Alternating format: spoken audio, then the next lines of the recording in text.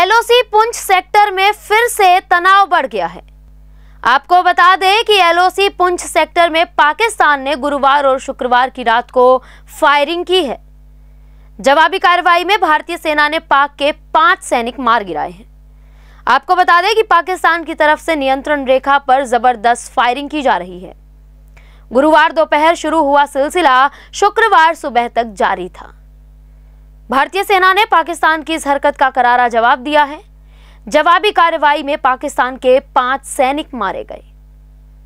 उसके तीन सैनिक घायल भी हुए हैं। सूत्रों के मुताबिक पाकिस्तान की तरफ़ से गुरुवार दोपहर बाद शुरू हुई फायरिंग शुक्रवार तड़के तक जारी थी। इस दौरान भारी हथियारों और मोटार का भी इस्तेमाल किया गया। भारतीय सेना ने भी जवाबी कार्रवाई की।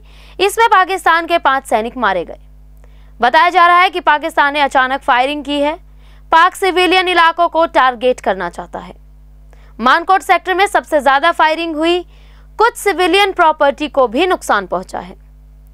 दोनों देशों के बीच 1999 में सीज फायर वायोलेशन को लेकर समझौता हुआ था।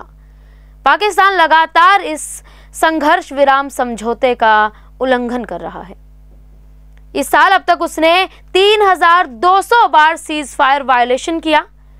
इसमें 30 नागरिक मारे गए, जबकि 100 से ज़्यादा घायल हुए। गुरुवार से शुक्रवार को हुई भारत की जवाबी कार्रवाई में पाक के पाँच सैनिक ढेर हो गए।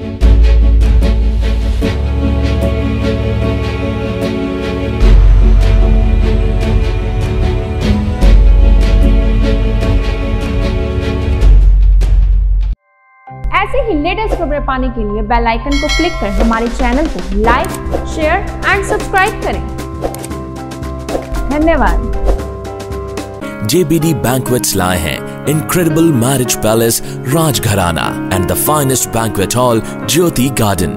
World class catering, centrally air conditioned, lush green lawns, state of the art lighting. A perfect venue for wedding, launching and parties. Rajgharana and Jyoti Garden at JBD Banquets Enterprise.